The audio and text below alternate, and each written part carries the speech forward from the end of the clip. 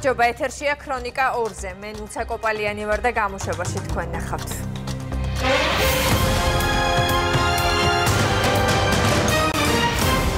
მთავრობამ კანაფის კულტივაცია წარმოებასთან დაკავშირებული კანონპროექტი შესაძლოა პარლამენტიდან გაიწვიოს.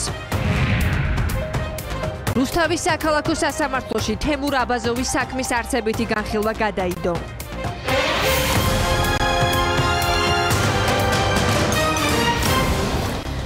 მთავრობამ კანაფის კულტივაცია ექსპორტის შესახებ არსებული კანონპროექტი შესაძლოა უკან გაიწვიოს. პარლამენტის თავმჯდომარის განცხადებაში ნათქვამია, რომ ინიციატივამ საზოგადოებაში ვნებათა ღელვა გამოიწვია და ამით ბოროტად ისარგებლეს გარკვეულმა ძალებმა, რომელთა მთავარი ნიშან-თვისებები ეკლესიის წინააღმდეგ მიზანმიმართული ბრძოლა და რელიგიური გრძნობების შეურაცხყოფა.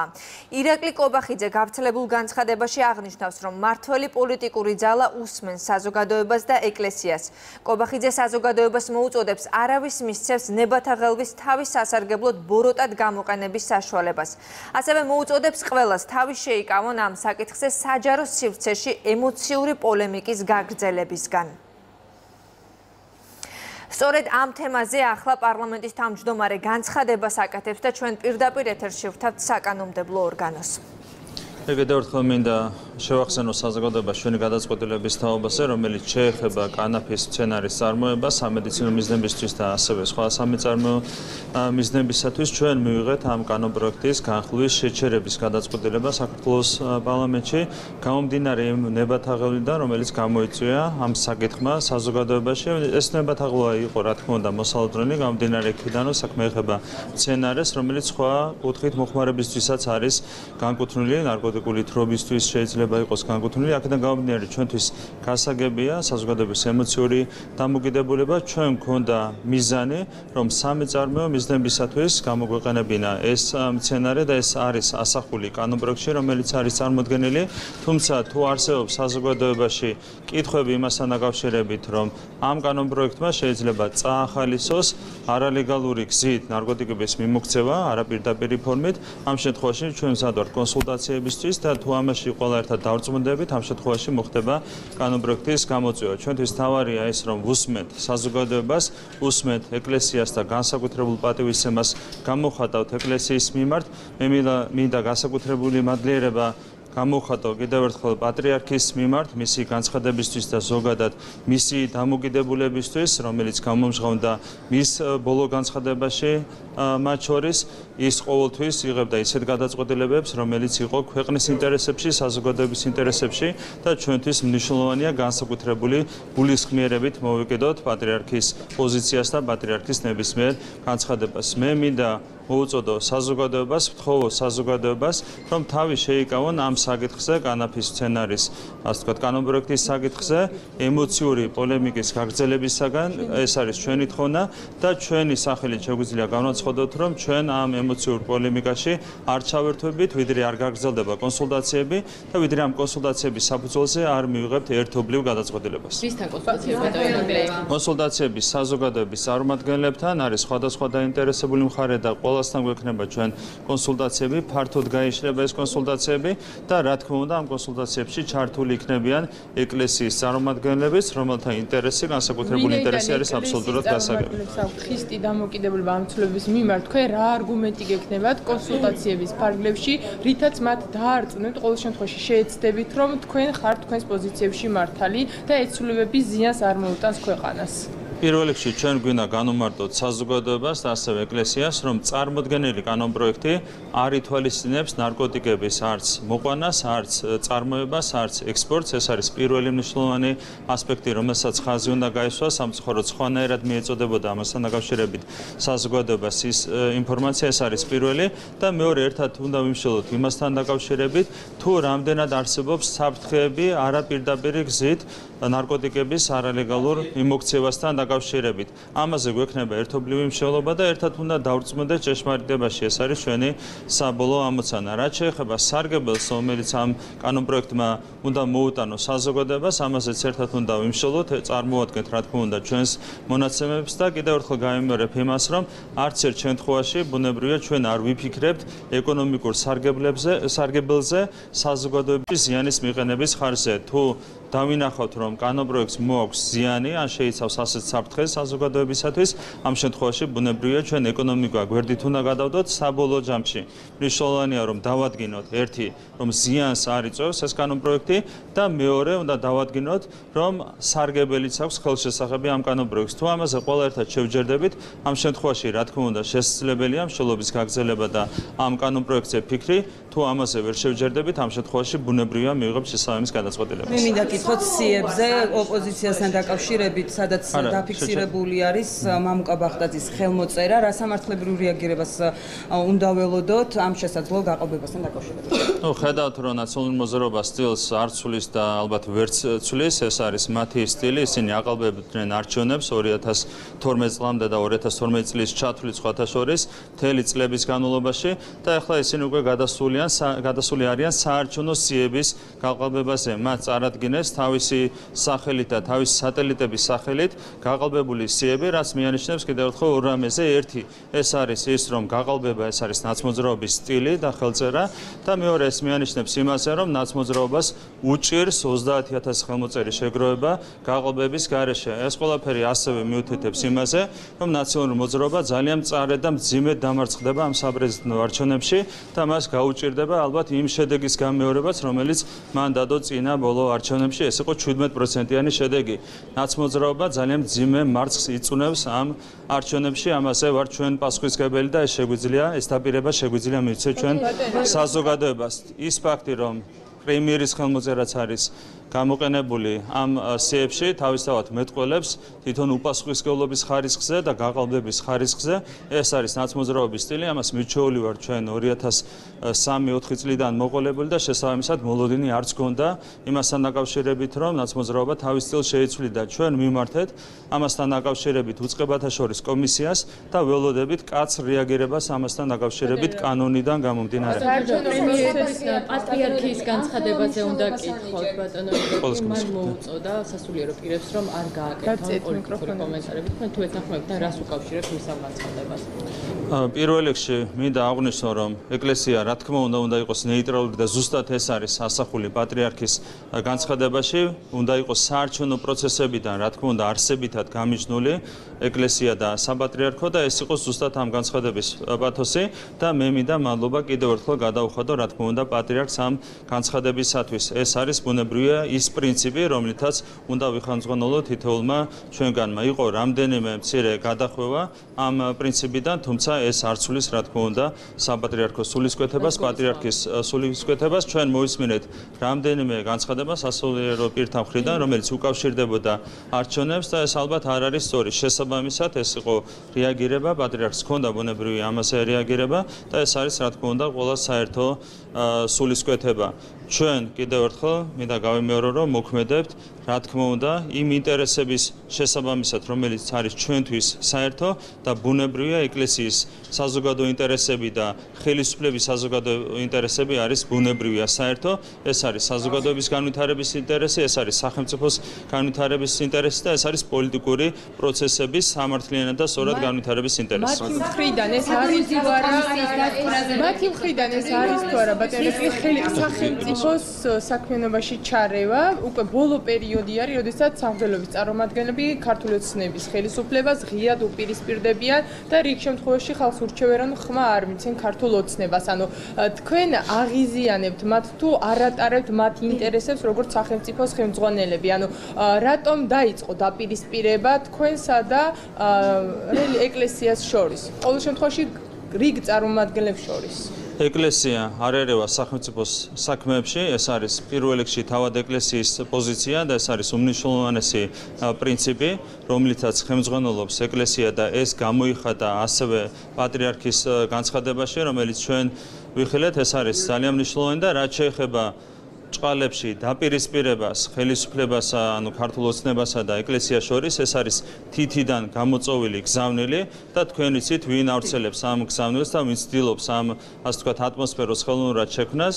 ეს არის ის პოლიტიკური ძალები რომლებიც თვითონ ვიცით როგორ უდგებოდნენ ეკლესიას და ვიცით როგორი დამოკიდებულება ჰქონდათ მათ ეკლესიის მიმართ. ესენი არიან ის პოლიტიკური ძალები რომელთათვისაც ღირს ადამიანის ღირსების შელახვა იყო ჩაოლებრივი მოვლენა და ეს არის არის ყველაზე დიდი ქრისტიანული სიგეთე, რაც არსებობს. ეს არის ეს კონკრეტული პოლიტიკური ძალები და ეს არიან ის პოლიტიკური ძალები, რომლებიც უკვე წლებია, აწრეულზე მეტია ებრძვიან ეკლესიას, უპირისპირდებიან ეკლესიას და უპირისპირდებიან ადამიანის რელიგიურ გრძნობებს. ეს არიან ეს პოლიტიკური ძალები, ისინი არიან დაპირისპირებული ეკლესიასთან, რაც შეეხება ქართულ ოსნებას, ქართული ოსნებისთვის არის უმნიშვნელოვანესი იმ პრინციპების მოქმედება, რომელსაც ეფუძნება ბუნებრივია ეკლესიის მოღვაწეობა. კომპანია ომეგამ გამოაქვეყნა დასკვნა, რომლის მიხედვითაც საუბარია ერთი წამბათა. საუბარია მეოთხე მეოთხე აუდიო ჩანაწერზე, ალბათ მოისმინეთ და ნახეთ თქვენს და ამ დასკვნაში გამოქვეყნებულ დოკუმენტში წერია, რომ 50% აქედან მიდიოდა ფონდში და როგორც ჩანაწერებიდან ირკვევა, ეს ფონდი არის ქართული ოცნება. თქვენ თუ გიჩნდებათ ამასთან დაკავშირებით კითხვის ნიშნები? თუ სადმე არსებობს კითხვები, ეს არის გამოძიების საქმე, ეს არის შესაბამისი უწყებების საქმე და ჩვენთვის თავარია, რომ ყველა კითხვას გაეცეს პასუხი, ჩვენ არანაირი ინტერესი ამ მიმართულებით, სუბიექტური ინტერესი არ აქვს, უნდა დაისვას კითხვები სამართალდამცავი ორგანოების მხრიდან და ამ კითხვებს უნდა გაეცეს პასუხები. თუ სადმე არის გადასტომა კონკრეტული პიროვნებების მხრიდან, ბუნებრივია ამას ხელს არავინ არ დააფარებს, ეს არ არის ჩვენი ხელწერა, თქვენ იცით, ვისი ხელწერაც იყო ეს თავის დროზე იმ ძალების, რომლებიც სხვათა შორის ცდილობენ ამ საქმის გამოყენებას საკუთარი პოლიტიკური ინტერესებისათვის. ჩვენ ვართ ის პოლიტიკური ძალა, რომლისთვისაც პრინციპი არის მედია პლურალიზმი, რომლისთვისაც პრინციპი არის ის, რომ კანონი უნდა იყოს ბოლომდე დაცული. აქედან გამომდინარე, თუ ვინმემ დაარღვია კანონი, თუ ვინმემ არასწორად იმოქმედა, უნდა დაისვას კითხვები სამართალდამცავი ორგანოების მხრიდან და ამ კითხვებს უნდა გაეცეს პასუხი და საჭიროების შემთხვევაში ამას უნდა კონდეს სათანადო სამართლებრივი რეაგირება. ამ ყველაფრის ფონზე, როცა ბატონო დავასრულეთ ერთი წამი. ამ ყველაფრის ფონზე დავასრულეთ ფართემას გეხოცა. ამ ყველაფრის ფონზე, როცა დამოუკიდებელი ტელეკომპანია არის დახურის საფრთხის ქვეშ. თქვენ პოლიტიკურ პასუხისმგებლობას ან თქვენ ან თქვენი გუნდი არ გწნობთ ამ შემთხვევაში? ეს იყო პარლამენტის თავმჯდომარის განცხადება, როგორც ირაკლი კობახიძემ აღნიშნა, კანაფის კულტივაცია ექსპორტის შესახებ არსებული კანონპროექტი შესაძლოა უკან გაიწვიონ. ამასთან ამ თემაზე კონსულტაციები გაგრძელდება, თუმცა პარლამენტის თავმჯდომარეს თხოვ საზოგადოებას, რომ ამ თემაზე საჯარო სივრცეში ემოციური პოლემიკისგან თავი შეიკავონ. პატრიარქი სასულიერო პირებს თავის შეკავებას ურჩევს. ილია მეორე მიმართვაში აღნიშნავს რომ ზოგიერთი სასულიერო პირი პოლიტიკური შინაარსის განცხადებებს აკეთებს და პოლიტიკოსებს არაკორექტულად მოიხსენიებს. მოვუწოდებთ მოძღვრებს მღვდელმთავრებს თავის შეიკავონ მსგავსი ქმედებებისგან. მათ ასევე შევახსენებთ რომ ეკლესია ყოველთვის იყო და იქნება პოლიტიკურად ნეიტრალური ერის გამოერთიანებელი ძალა და ჭდილს ნუაყენებენ მას და საკუთარ თავს წერს პატრიარქი მიმართვაში. შეგახსენებთ რომ პრეზიდენტობის პარტიის დამოუკიდებელმა კანდიდატმა სალომე ზურაბიშვილმა იმედის ეთერში კანაფის კულტივაციის სადავო კანონ პროექტზე საუბრისას აღნიშნა, რომ სასულიერო პირები სახელმწიფოს გადაწყვეტილებებში არ უნდა ერეოდნენ. ამ განცხადების შემდეგ მღვდელმთავრების ნაწილმა კანდიდატი მკაცრად გააკრიტიკა. სამწუხაროდ არჩევნების მოახლოებასთან დაკავშირებით ზოგიერთი ღვთისმსახური აკეთებს პოლიტიკური შინაარსის განცხადებებს და ამასთან საჯარო სივრცეში არაკორექტულად მოიხსენიებს ამა თუ იმ პოლიტიკურ პირს. მოუწოდებთ მოძღვრებს და მღვდელმთავრებს თავი შეიკავონ მსგავსი ქმედებებისგან. მათ ასევე შევახსენებთ, რომ ეკლესია ყოველთვის იყო და იქნება პოლიტიკურად ნეიტრალური, ერის გამოერთიანებელი ძალა და ჭრილს ნუაყენებენ მას და საკუთარ თავს. ეკლესია აპოლიტიკურია, მაგრამ სასულიერო პირებს აქვთ უფლება გამოთქვან სუბიექტური აზრი, რაც არ იქნება ეკლესიის პოზიცია. ამის შესახებ რუსთავის მიტროპოლიტმა განაცხადა. ის პატრიარქის პოზიციას ეთანხმება, თუმცა მეუფე იაკობსა და პეტრეს არ აკრიტიკებს, რადგან მიიჩნევს, რომ მათ მხოლოდ საკუთარი აზრი დააფიქსირეს. ილია მეორის მიმართვას აფასებენ პოლიტიკოსებიც. მართული გუნდის წევრები ფიქრობენ, რომ პატრიარქი ყოველთვის იცავს მათთან ურთიერთობის ბალანსს. იუსტიციის მინისტრი ამბობს, რომ საქართველოს სეკულარული სახელმწიფოა, სადაც გამიჯნულია საერო და საეკლესია საეკლესიო ხელისუფლება და შესაბამისად პატრიარქის საჯაროდ გაცხადებული პოზიცია ბუნებრივია. ოპოზიციაშიც ამბობენ, რომ მოწოდება დაიცვან პოლიტიკური ნეიტრალიტეტი დროული იყო. პატრიარქმა გამხმოვან მხოლოდ ისაც, საკუთარ მანდულზე არის ეკლესიის პრინციპი, რომ სასულიერო პირები არ ერევიან ხელისუფლების საქმეში. თუ ხელისუფლება არ სწხოვს თავის აზრის გამოხატვას, მაგრამ ყველა ადამიანს როგორც მოქალაქეს აქვს უფლება თავისი პოზიცია პირად გამოხატოს. ეს მათი უფლებაა, მაგრამ ისინი რა ზეწოლს ახდენენ ხელისუფლებაზე? მეუფე იაკობმა განაცხადა, რომ სალომე ზურაბიშვილი კანაფის დედოფალია და ასევე მეუფე პეტრემაც განაცხადა, რომ მათთვის მიუღებელია პრეზიდენტად სალომე ზურაბიშვილი. ეს მათი პირადი პოზიცია არის. უკაცრავად, ყველა დემესაკუფლება გამოხატებს თავის პოზიციას, მაგრამ თავისი და ეკლესიის სახელით ლაპარაკობს. ყოველთვის ჩვენი პატრიარქი ამბობდა, რომ ეკლესია არის აპოლიტიკური, რომ არ შეიძლება ეკლესია მხარს უჭერდეს რომელიმე პოლიტიკურ პარტიას ან კანდიდატს და ის ყოველთვის თავადაც იცავდა ამ წესს, ამიტომ მის განცხადებაში, რა თქმა უნდა, არც ახალი არაიმე, არც გასაკვირი და ეს ბუნებრივიც არის საერო სახელმწიფოში, როგორც არის საქართველოს. პატრიარქის პოზიცია ამ შემთხვევაშიც არის ძალიან დროული და ზუსტად შეესაბამება იმ ღირებულებებს, იმ პრინციპებს, რომელზეც ჩვენი სახელმწიფო არის დაფუძნებული. ამ შემთხვევაში, რა თქმა უნდა, პატრიარქის განცხადება გამოხატავს ზუსტად ეკლესიისა და სახელმწიფოს დამოკიდებულებას და ჩვენ მივესალმებით, რომ მან ასეთი განცხადება გააკეთა. მე ვირავის აუკრძალავ აზრის გამოთქვას. ეს აზრი შეიძლება მომწონდეს ან არ მომწონდეს, ეს სხვა საკითხია. მაგრამ კონკრეტული აზრის გამოთქმა შეუძლია სასულიერო პირსაც. რაც შეეხება პატრიარქს, მასაც შეუძლია რომ მღვდელთორეს მოუწოდოს რომ არ გამოთქვან ან გამოთქვან და ეს მათი შიდა საქმეა ეკლესიაში როგორ დაალაგებენ ამ პოლიტიკას. მე ვერ ხედავ განსხვავებას, ასე ვთქვათ, მოსმენილი აზრის თვალსაზრისით გააკეთებს ამ შეფასებებს სასულიერო პირი თუ ვინმე სხვა.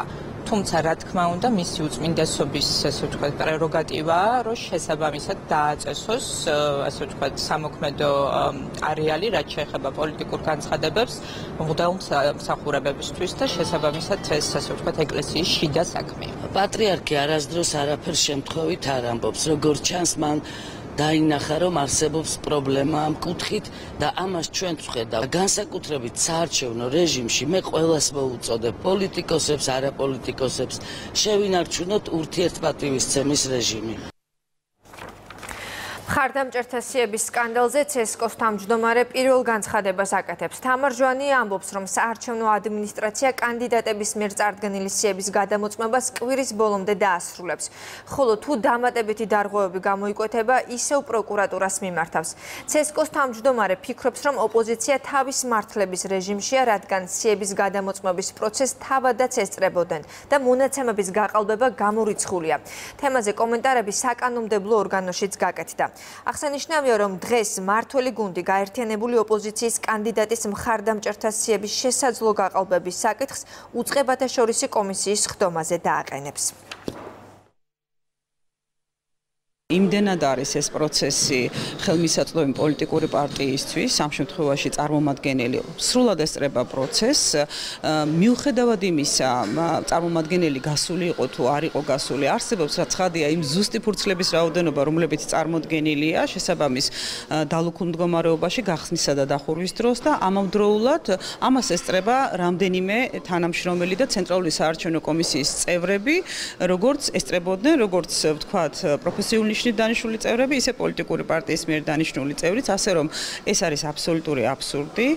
რაც შეეხება სხვა ბრალდებებს და ზოგადად სუსთან დაკავშირებულ ბრალდებებს, ეს არის აი არ ვიცი, საიდან მოდის საერთოდ მსგავსი ტიპის შეფასებები, მე უფრო მგონია ეს თავის მართლების პოზიცია. ძალიან მოკლედ ვიტყვი, რომ მე არც ერთი ოპოზიციური ან პოზიციური ან არც ერთი პოლიტიკური პარტიის ოპონენტი ცენტრალური საარჩევნო კომისია ვერ იქნება. ჩვენ ვაკეთებთ ჩვენ საქმეს და ჩვენ ვაკეთებთ საქმეს ამ მომრჩევლებისთვის. ორი დღეა ხედავთ რომ გაერთიანებული ოპოზიცია არის დაკავებული სტრატეგიული წაყრუებით რეალურად მათ მიტანილ ხელმოწერებში არის გაყალბებული სიები რაც არის ძალიან სერიოზული დარღვევა, ამ ასევე იცით რომ დაწყებული ამაზე გამოძიება, ეს კომაც გააკეთა განცხადება.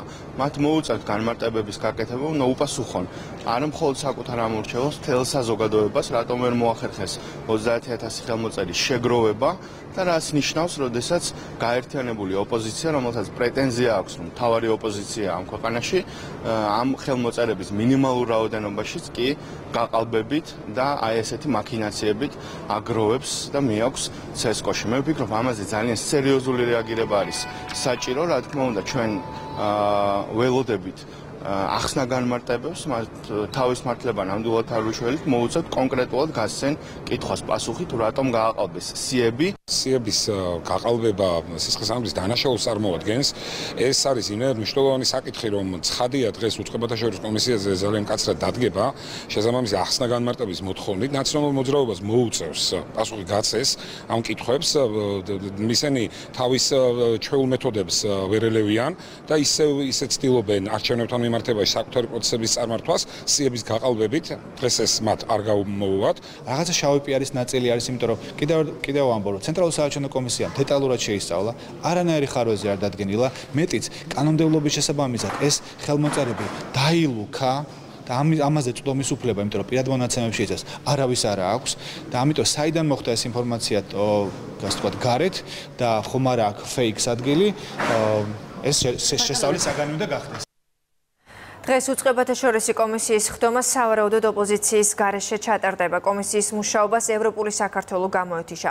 სავარაუდოდ იმავე გადაწყვეტილებას მიიღებს ნაციონალური მოძრაობაც. ლევან ბეჟაშვილის განცხადებით, თეატრულუკიანმა კომისია ქართული ოცნების საარჩევნო შტაბად გადააქცია და ასეთ პირობებში მუშაობა წარმოუდგენელია. უწყებათა შორისი კომისიის ხდომა დღეს 5 საათზეა დანიშნული. ამ კომისიის მუშაობა, რომელსაც თავმჯდომარეობს ხალტონი წულუკიანი, არის სრული ფორმალობა, ფარსი. კლოუნადაც კი ისე ცდილობს წაიყვანოს ეს პროცესი ხალტონი წულუკიანმა. დახურულია მედიისთვის, რომ საზოგადოება არ ნახოს შინით რაც ხდება. არც ერთ დარღვევაზე არ დაფიქსირებულა ადეკვატური რეაგირება. აა მინისტრი თავს ესხმის არამხოლოდ პოლიტიკურ ოპონენტებს, არამედ არასამთავრობო სექტორსაც. და პრაქტიკულად იქ დარჩენის აზრს ჩვენ ვერ ვხედავთ. ჩვენ კონსულტაციებს ვაწარმოებდით არასამთავრობო ორგანიზაციებთან და სხვა პოლიტიკურ სუბიექტებთან, ამიტომ ეს გადაწყვეტილება, ეს გადაწყვეტილება ახალი არ არის. ჩვენს ბუნებრივია მივიღებთ ამ გადაწყვეტილებას, იმიტომ რომ ამ ფორმატში ამ იუსტიციის მინისტრის აა ფონზე წარმოუდგენელი არის რაიმე თანამშრომლობის საუბარი და რაიმე ნორმალურ საარჩევნო გარემოს გარემოს უზრუნველყოფაზე. უწყებათა შორის კომისია არის ძალიან მნიშვნელოვანი სტრუქტურა. რომელიც მნიშვნელოვან პროცესს უწევს მონიტორინგს და ახდენს მყისე რეაგირებას თუ კი რაიმე აპრობლემა წარმოიშვება საარჩევნო პროცესში. მე არ ვფიქრობ, რომ იყოს სწორი დატოვება ზოგადად უწყებათა შორის კომისიის, თუმცა ყველა აბსოლუტურად საკუთარი ნებით და საკუთარი ინტერესით იღებს გადაწყვეტილებას. ცოტა ხანში პარლამენტში სესია უნდა დაიწყოს, სადაც ხორავას ქუჩის საქმეზე საგამოძიებო კომისიის დასკვნას წარადგენენ. ევროპული საქართველოს მიერ მომზადებულ დასკვნას პარლამენტი ცნობად მიიღებს, ხოლო ქართული ოცნების დეპუტატების მიერ შემუშავებულ დადგენილების პროექტს განიხილავენ და კენჭს უყრიან. ნათია სონღულაშვილი მუშაობს საკანონმდებლო ორგანოში და პირდაპირ ეთერში გვერდება ნათია გისმენთ. დიახ, რამდენიმე წუთში დაიწყება პლენარული სხდომა, სადაც მართველი გუნდი წარადგენს დადგენილების პროექტს და უკვე დოკუმენტის კონკრეტული შინაარსი განხილვის დროს გახდება ცნობილი, თუმცა საპარლამენტო უმრავლესობის წევრები აცხადებენ, რომ მათი პროექტი არის მკაცრი და ობიექტური და მთელი რიგი საკითხების შესწავლას ითხოვენ. მართველი გუნდის წარმომადგენლები კიდევ ერთხელ განმარტავენ, თუ რატომ არ უჭერენ მხარს ევროპული საქართველოს მიერ შემუშავებულ დასკვნას. მთავარი მიზეზი არის ის, რომ საპარლამენტო უმრავლესობაში ამბობენ, რომ ოპოზიცია ოპოზიციის დასკვნა არის პოლიტიკური. საპარლამენტო უმცირესობა კი ელოდება მათ მიერ შემუშავებული რეკომენდაციების გათვალისწინებას. თავარი ორი ძირითადი რეკომენდაცია შეეხება პირველი გამოძიების დაწყებას შინაგან საქმეთა სამინისტროს და პროკურატურის იმ გამოძიებლების თუ თანამდებობის პირების მიმართ, ვინც მიზანმიმართულად არაობიექტურად და ტენდენციურად წარმართა გამოძიება და მეორე სულ შეეხება სამართლებრივი დევნის დაწყებას დავით სარალიძის მკვლელობაში მონაწილეობის ფაქტზე მკ-ს მიმართ. პოლიტიკური პასუხისმგებლობა არის ქართული ოცნების წევრებზე, რომლებიც რა თქმა უნდა ცდილობენ გადაეფარონ შინაგან საქმეთა სამინისტროს და პროკურატურას, მაგრამ როდესაც სამართლებრივი არგუმენტები და მტკიცებულებები ასეთ ცხადია, რა თქმა უნდა, მათ მოუწევთ დაეთანხმონ როგორც საგამოძიებო კომისიას, ისე არასამთავრობო სექტორს და სახალხო დამცველს. ამ კომისიას ქონდა ძალიან სპეციფიკური დავალება და ძალიან მნიშვნელოვანი იყო, რომ სწორი აქცენტები გაკეთებულიყო, როგორც ამ საქმისთვის არის ძალიან მნიშვნელოვანი, ასევე თვითონ საპარლამენტო ცხოვრებაში, საკომიტეტო, საკომისიო საქმიანობის შემდგომში სტანდარტების დასადგენად ეს აუცილებელი იყო, მაგრამ ეს შანსი არ გამოიყენეს და რატომღაც გადაწყვიტეს, რომ პოლიტიკური დღესასწაულით იმოქმედონ თავიანთი პოლიტიკური ინტერესები გაითვალისწინონ ჩაედინონ ამ დასკვნაში და ახლა უმრავლესობაში იყვნენ კომისიაში შესაბამისად ესეთ დასკვნას უყარესკენში და არც ეცადნენ რომ ეს ყოფილიყო კომისიის წევრებს შორის შეთანხმებული დასკვნა იმისთვის რომ ყოფილიყო უფრო მაღალი ლეგიტიმაციის და უფრო ეფექტური. ჩვენ გვექნება ობიექტური დასკვნა ჩვენი მიერ წარმოქმნილი შეხედულებები იქნება უფრო ობიექტური გამომდინარე იმ შედეგებიდან რაც აღმოაჩინა კომისიამ დღეს პარლამენტში გამართა იურიდიულ საკითხთა კომიტეტის სხდომა, სადაც დეპუტატებმა იმჟელეს თამბაქოს კონტროლის შესახებ კანონ პროექტზე და დოკუმენტის განხილვას მოხვა ხმაური კამათი იყო ლევან გოგიჩაიშვილსა და კანონ პროექტის ავტორ აკაკი ზოიძეს შორის ლევან გოგიჩაიშვილი ეწინააღმდეგება სლოტ კუბებში თამბაქოს მოწევის დაშვებას და მან მოითხოვა კონკრეტული გვარები თუ ვინ ლობირებს ამ საკითხს. კონკურენციის კანონის პრინციპია კი არ არის თავი. აქ არის საჯარო ინტერესი გაცილებით დიდი, ვიდრე კონკურენციის და საჯარო ინტერესი არის იმაში, რომ ადამიანები არ მოხვდნენ ამ დაწესებულებებში და ნაკლებ ამ შემთხვევაში რა გამოდის? რა გამოდის? ადამიანები წავლენ კაზინო სადაც არის. ერთი წუთით, არაფერი არ არავინ არ იცის ეს სტატისტიკა, არც ეს მიგრაცია არავინ არ იცის. არანაირი ინფორმაცია არ არსებობს სამწუხაროდ ჩვენს სახელმწიფო არაფერი არ არსებობს. ეხა ადამიანები არ ვიცით რამდენი ადამიანი არის ამის მომხმარებელი. არის იცი სახელმწიფომ? ადამიანი რამდენი ადამიანი იკლავს ამის გამო? თავს ეს არის იცი სახელმწიფოს. რამდენი ოჯახი ინგრევა ამის გამო? ეს არის დიდი დიდი შუაში არის ლევან. ეს არის პრინციპი გეუნებით ეს არის პრინციპული ხაზი და ნუ ნუ ნუ ეს არა ძალიან არა ერთი წუთი რა კაკი რა ძალიან კარგი. ხა მე ჩემი პოზიცია მაქვს მე ჩემი ვალდებულება მაქვს ჩემ ამორჩეულთან შენ შენი კონდეს. და გავიდეს ეს საკითხი თუ გინდა საჯაროში. ეს არის პრინციპი. ნუ გაატანიებთ ამ ადამიანებს ამ საკითხს ამ პარლამენტში. ნუ გაატანიებთ დამიჯერეთ რა. ნუ დაუქვემდებარებთ საკუთარ ნებასურვილს პარლამენტის გადაწყვეტილებაზე. იმიტომ რომ უმრავლესობამ რომელმაც ჩვენ ხმა მოგცა მათ ნებასურვილს არ ექვემდებარება. ხვდებით? არ ემთხვევა. მათი ინტერესები ერთმანეთს რა რაზე ლაპარაკობთ? კონკურენციის დაბლო არ არის ბატონო. ვერ ასე. კარგი, მოდი და ასრულებს და ილიას კითხვის შინაარსი. ეხლა თუ არ გინდა გაგება ეს სხვა მომენტი არის. 50-ის ხო რა არის ეს თუ შენ ამ კონკურენციის კანონის დაბლო. მოდი კითხვა მე დავსვი შეიძლება? თუ შეიძლება. ერთი წამი. კაი, ლევა. აბზალვა დიჩი რატო არჩება აბზალვა? ლევან ისე მოგცემ საშუალებას დაასრულო. ამიჯერ ლევან ნუ აკეთებ მეთქი ამ საქმეს გეუნებს. ნუ აკეთებ ამ ინიციატივას. ეხლა კაკი. სადა ასახნევი გაკეთა. აი ლევან. აი პატეცამულა. იჯებო, კარგ, კარგ. გეონე მოხერია. იურიდიულ საკითხთა კომიტეტის სხდომა დასრულებული არის. რამდენიმე წუთში ველოდებით პლენარული სხდომის დაწყებას, სადაც დეპუტატები განიხილავენ ევროპული საქართველოს მიერ შემუშავებულ დასკვნას ხორაუს ქუჩაზე მომხდარ მკვლელობასთან დაკავშირებით და ასევე მართველი გუნდის მიერ შემუშავებულ დადგენილების პროექტს. ნათია სანგულაშვილი საუბრობდა პარლამენტიდან.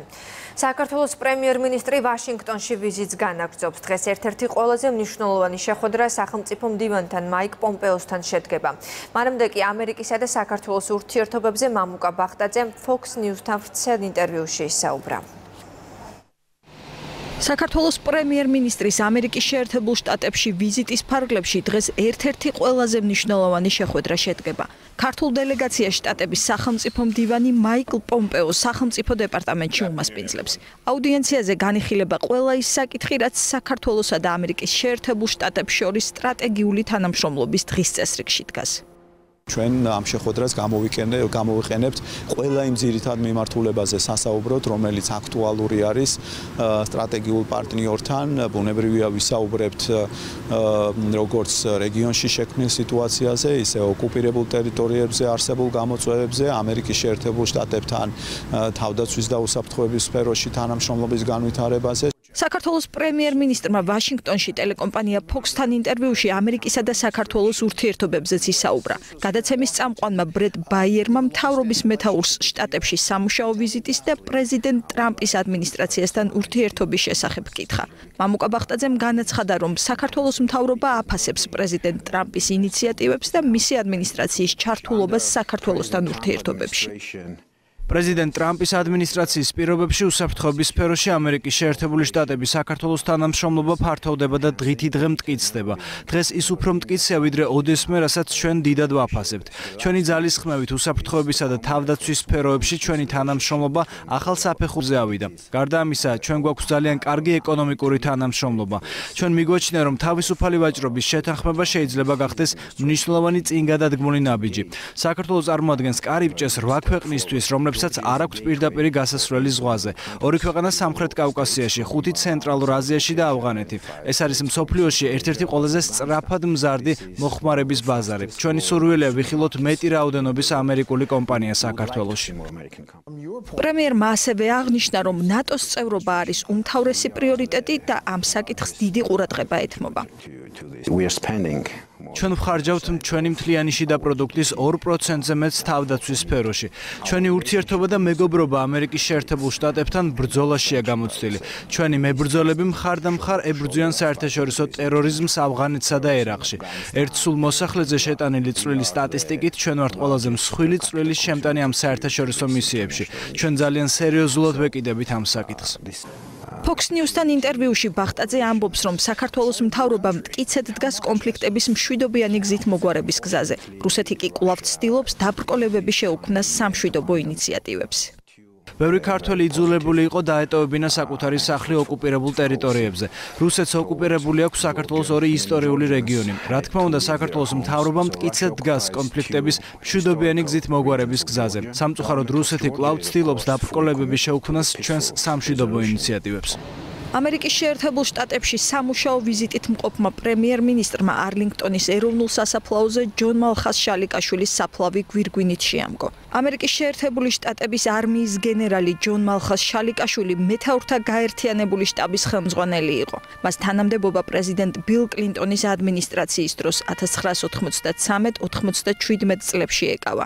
ჯონ მალხას შალიკაშვილი ამერიკულ არმიას 38 წელი ემსახურებოდა. ამერიკის შეერთებული შტატების სახელმწიფო დეპარტამენტს საქართველოს ტერორიზმთან ბრძოლის უნარები მოსწონს. სახელმწიფო დეპარტამენტმა ტერორიზმის წინააღმდეგ ბრძოლის კუთხით სოფლიოს სხვადასხვა ქვეყანასთან ერთად საქართველოს მიერ გატარებული ღონისძიებებით შეაფასა. ოფიციალურ ვებგვერდზე გამოქვეყნებულ 2017 წლის ანგარიში ნათქვამია, რომ საქართველოს მთავრობას ტერორისტული ინციდენტების გამოვლენა, შეკავება და საპასუხო რეაგირება შეუძლია. ანგარიში ასევე განხილულია გასულ წელს გაბრიელ სალოსის ქუჩაზე სუსის ministris ხელმძღვანელობით ჩატარებული სპეცოპერაცია. დეპარტამენტი მიიჩნევს, რომ საქართველოს სახელმწიფო უსაფრთხოების სამსახური წამყვანი უწყება ტერორიზმთან დაკავშირებულ ინციდენტებზე რეაგირების მხრივ. ასევე არის კარგად აღჭურვილი და მომზადებული. ანგარიში ყურადღება გამახვილებულია საკანონმდებლო ბაზაზეც და მასში შეტანილ ცვლილებებზე. სპეცსამსახურების რესურსის დიდი ნაწილი სამწუხაროდ პოლიტიკური მიზნების შესრულებას ხმარდება და ისინი აქტიურად ჩართულები არიან. სხვადასხვა პოლიტიკური ამოცანების შესრულებაში, რა თქმა უნდა, გამოწვევები არის ძალიან ბევრი, მით უმეტეს საქართველოსთვის, რომელსაც აქვს ოკუპირებული ტერიტორიები, საიდანაც მომდინარე საფრთხეები ასევე გაზრდილია რუსეთის აგრესიული ნაბიჯების გამო. ამერიკის სახელმწიფო დეპარტამენტის 2017 წლის ანგარიში არის ძალიან პოზიტიურად ასე ვთქვათ მოხსენიებული საქართველოს როლი ტერორიზმთან მიმართებით ბრძოლაში. არის ხაზგასმული ის ძალიან მნიშვნელოვანი წარმატებები რომელიც საქართველოს ამ წლის განმავლობაში მიაღწია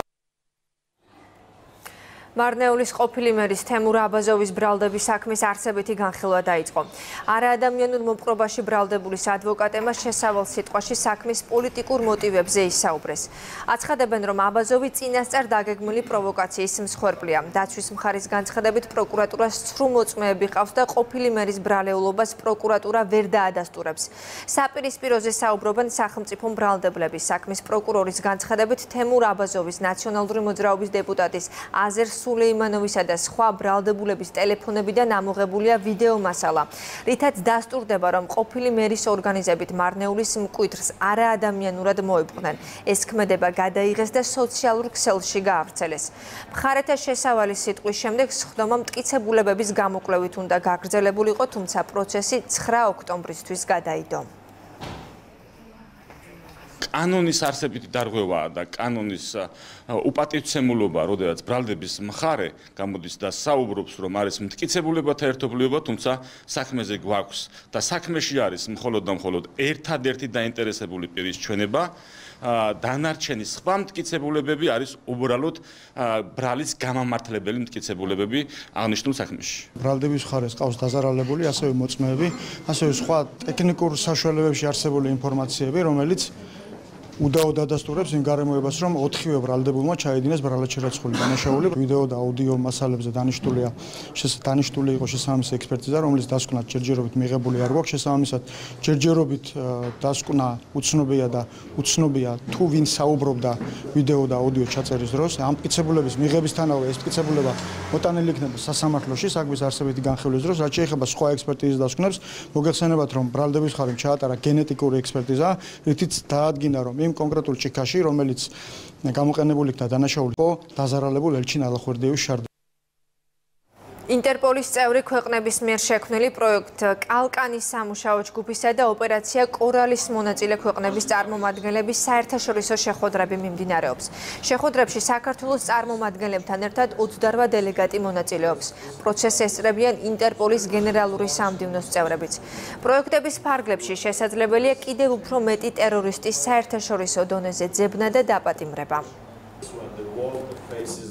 ამ შეხვედრების ფარგლებში მონაწილე ქვეყნების წარმომადგენლებს დაახლოებით 60-მდე დელეგატს მიეცემა შესაძლებლობა რომ ერთმანეთში გაცვალონ ის აუცილებელი ინფორმაცია რომელიც უკავშირდება ტერორიზმის წინააღმდეგ ბრძოლას მოგეხსენებათ რომ რეგიონში და მთელ მსოფლიოში ტერორიზმთან დაკავშირებული საკითხები წარმოადგენს ერთ-ერთ უმნიშვნელოვანეს გამოწვევას ყველა წევრი ქვეყნისათვის. სწორედ ამიტომ ხას უსვამთ იმ მნიშვნელობას, რომელიც ამ პროექტის ფარგლებში საქართველოს მიმართებით იქნება სასარგებლო. ეს კონფერენცია უმნიშვნელოვანესია და ეძღვნება ამ რეგიონის ქვეყნებს შორის თანამშრომლობას. კონფერენციას ესწრება 11 ქვეყნის წარმომადგენელი, რომლებიც საუბრობენ საშინაო პრობლემებზე და იმ ღონისძიებებზე, რასაც ტერორიზმის წინააღმდეგ თანამშრომლობის ფარგლებში ატარებენ. მომდევნო 3 დღის განმავლობაში სხვადასხვა ქვეყნის მიერ წარმოდგენილი იქნება პრეზენტაციები, მათ შორის თვითონ ინტერპოლის პრეზენტაციაც, სადაც მოცემულია ტერორიზმის დაფინანსების წინააღმდეგ გატარებული ღონისძიებები. ამავდროულად აკადემ აკადემიკოსებიც ისაუბრებენ ტერორიზმის საკითხზე ჩატარებული კვლევების შესახებ. ქრონიკაში რეკლამის დროა, რამდენიმე წუთში დავბრუნდებით პირდაპირ ეთერში.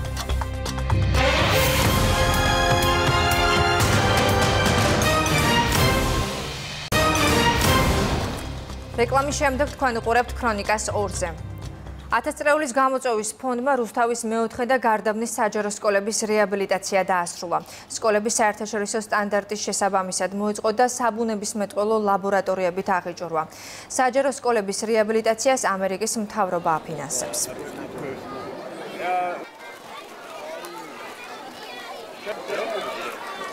დღეისათვის საქართველოს რეგიონებში ფონდმა უკვე დაასრულა 58 საჯარო სკოლის სრული რეაბილიტაცია, ხოლო 30 საჯარო სკოლის რეაბილიტაცია დაიწყო დასავლეთ საქართველოში.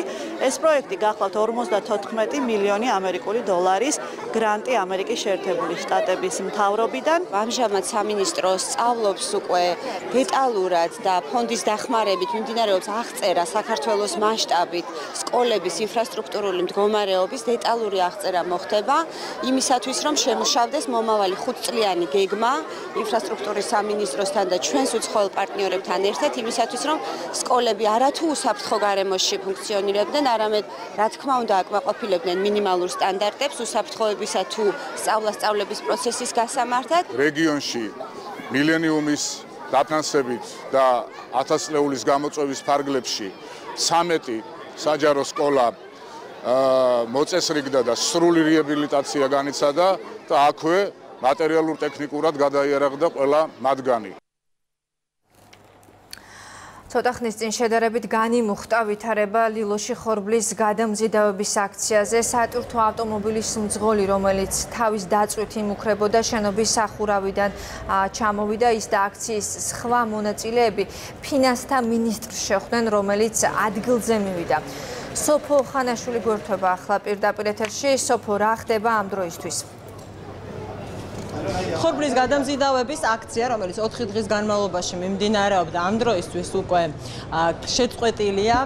ამ დროისთვის იმყოფებიან ადგილზე ეკონომიკური ზონის, გაფორმების ეკონომიკური ზონის ტერიტორიაზე აქციის მონაწილეები, თუმცა მათ გადაწყვეტილება მიღებული აქვთ, რომ აქცია შეწყდება. ამ გადაწყვეტილების მიღების საფუძველი გახდა ის შეთანხმება, რაზეც შეჯერდნენ დღეს ფინანსთა მინისტრი და აქციის ის მონაწილე, რომელმაც პროტესტის უმაღლეს ზონას მიმართა შეთანხმების მიხედვით ფინანსთა მინისტრის ბრძანება, რომლის მიხედვითაც საავტომობილო იმპორტი იგრძალებოდა ხორბლის 2019 წლის 1 ოქტომბრამდე გადავადდა და ასევე ფინანსთა მინისტრმა როგორც მედიასთან განმარტა, ერთი წელი არის ვადა იმისთვის, რომ შეჯერდნენ უკვე ერთობლივად მხარეების მონაწილეებით, მონაწილეობით, რომ ერთის მხრივ არ დაზარალდნენ გადამზიდავები და მეორეს მხრივ ხელი არ შეეშალოს ტურიზმს. ასევე უნდა აღინიშნოს ის, რომ რამდენიმე საათის განმავლობაში იმყოფებოდა აქციის მონაწილე, რომელსაც პროტესტის უკიდურეს ფორმას მიმართა სახურავზე, გეზის ტერიტორიაზე და მას შემდეგ შემდეგ როდესაც მან გაიგო, რომ ადგილზე მოვიდა ფინანსთა მინისტრი, საკუთარი ნებით ჩამოვიდა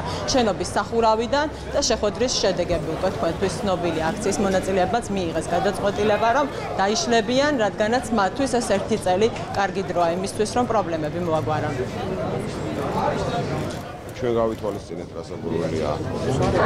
პირველ რიგში ჯანოს ესეთი ავიც ემოციური გადაწყვეტილება.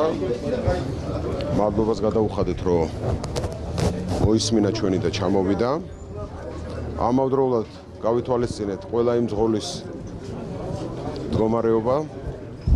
გადაწყვეტილება მივიღეთ რომ ერთი წლით გადავავადოთ ამ შეზღუდვის ამოქმედება ხოლო ამის მერე მომავალი შეზღუდვა იქნება ეს სეზონური თუ სხვა ტიპის ერთად გავიაროთ მძღოლებთან. ერთი წელი საკმარისზე მეტი ვადაა რომ ჩვენ სამომავლოდ ისე გავაკეთოთ რომ ეს ხალხიც არ დაჩენ ქუჩაში მაგრამ ყოველწლიურად მზარდი ტურისტული ნაკადიც ასევე შევინარჩუნოთ და არ ვავნოთ ჩვენ ქვეყანას. შოფერი ვარ, მძღოლი ვარ და მძღოლურად. მე გეუნებით კაცურად.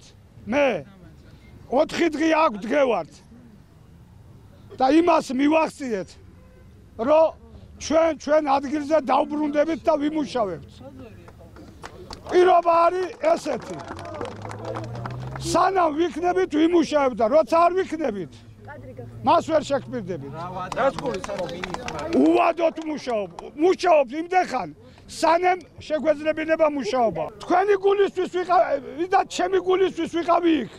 ვიქნები ყოველთვის. როცა თქვენ დაგჭირდებათ, როცა ჩვენ ერთმანეთს დაგჭირდება და ერთი წლის შემდეგ გადაიხედება წელიწადი ვიმუშავებ, არ იქნება ისევ იმას, ვინც ამ პირობას გაძლევთ. თუ თქვენ იქნებით თანახმა, მე გაძლევთ პირობასო, ისევ ამას ვინც ამ რაც დღეს ვქენი. ხუთი დღე მქონდა არსებობის უფლება და გაგვი ხალხიზებას ერთი წლით და შედარება ხო არ არის ახლა სად ერთი კვირა სად სამი თვე და სად ერთი წელი. ამ დროს მოხდება გადანაწილება. ხალხი სხვა სახელმწიფოს მონახავს. ახალ სეს არ აიღებს ახალ მანქანას არ იყდის და ოჯახს არ დააქცევს ეგეც დიდი მიღწევაა ჩვენთვის ამ ეტაპზე ხორბლის გადამზიდავების აქცია, როგორც გითხარით, 4 დღის განმავლობაში მიმდინარეობდა და ამ დროისთვის აქცია უკვე დასრულებულია. სატვირთო ავტომობილების მძღოლებს გამოყავთ ტრაილერები გეზის ტერიტორიიდან, რომელიც მათ 4 დღის წინ შემოიყვანეს და გეზის მუშაობაც აღდგება. მადლობა, ეს იყო სოფო ხანაშვილი.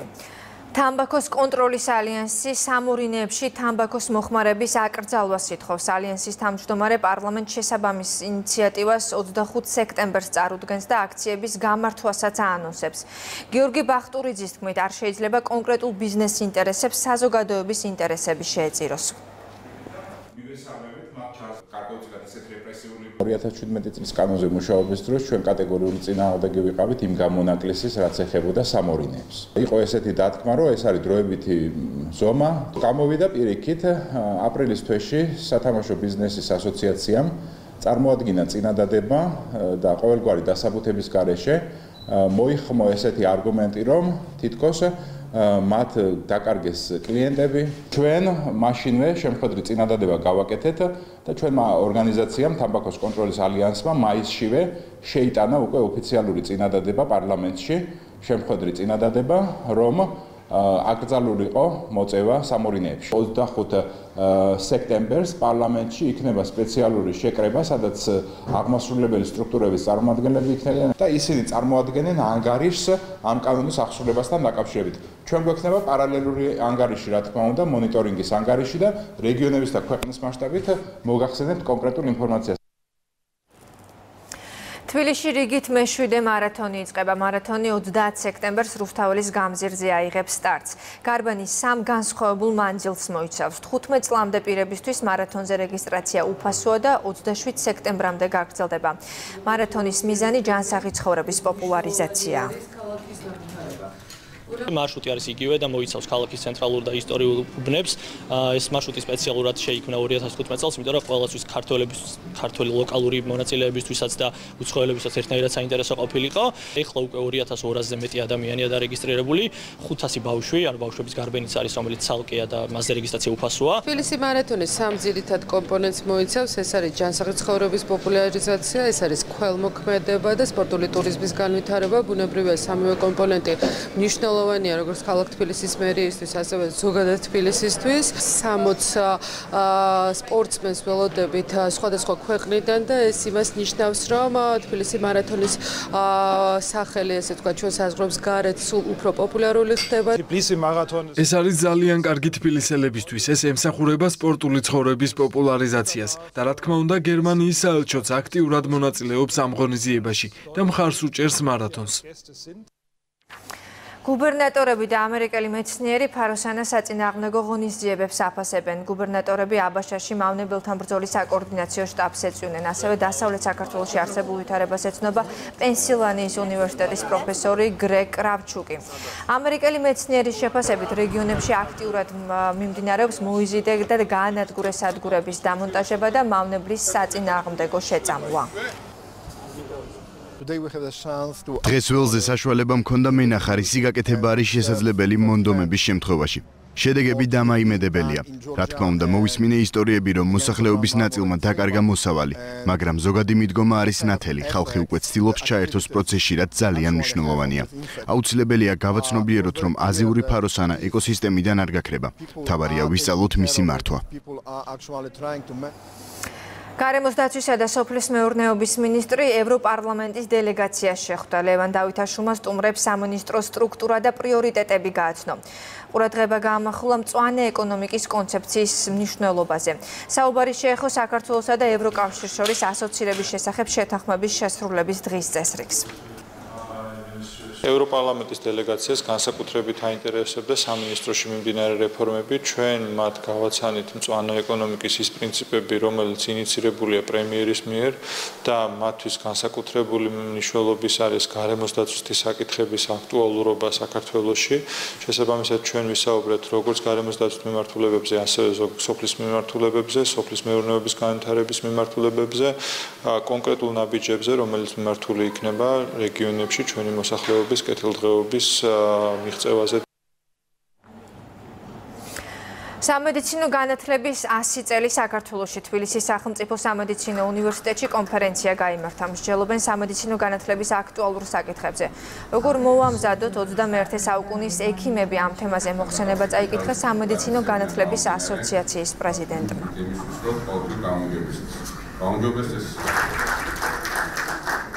ჩვენთან სტუმრად იმყოფება ევროპის სამედიცინო განათლებათა ასოციაციის პრეზიდენტი, ექსპერტი, რომელსაც ჩვენ უახლოეს მომავალში მათთან და ჩვენ სხვა კოლეგებთან ერთად გვექნება კომუნიკაცია, გვექნება ექსპერტული დასკვნები, ვინაიდან ჩვენ ეტაპობრივად გადავდგათ ის ნაბიჯები, რომ ჩვენი დიპლომამდელი დიპლომშემდე და უცხოეთის სამედიცინო განათლება იყოს აღიარებადი ევროპის იმ ქვეყნებში. ამას დაკიდება დიდი შრომა, მაგრამ ეტაპობრივად ვიწყებ. ძირითადი გამოწვევები, რომელიც დგას 21 საუკუნეში, ეს არის დანერგვა სწავლების და შეფასების ახალი მეთოდების განსაკუთრებით ისეთი მეთოდების როგორიც არის კლავ ძველი აპრობირებული მეთოდების განახლება და დაბრუნება ავადმყოფის სწავლთან სწავლების ინტეგრაცია სხვადასხვა პროგრამების და დისციპლინების კომპანია Georgian Water and Power-ი კახეთის გზატკეცილზე წყალმომარაგების სისტემას ანახლებს. პროექტის ჯამური ღირებულება 3 მილიონ ლარზე მეტ შეადგენს.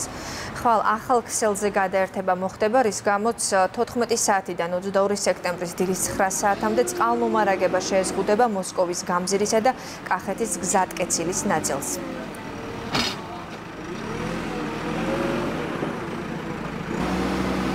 კახეთის გზატკეცილზე მიმდინარეობს მასშტაბური რეაბილიტაცია, რომლის ფარგლებშიც კომპანია Georgia Water and Power-ი სრულად აახლებს წყალმომარაგების სისტემას. ამ ეტაპისთვის უკვე შეცვლილი არის 6 კილომეტრზე მეტი სიგრძის წყალმომარაგების ქსელი. ხვალ 21 სექტემბერს კომპანია ახალ ქსელზე გადაერთების სამუშაოებს შეასრულებს.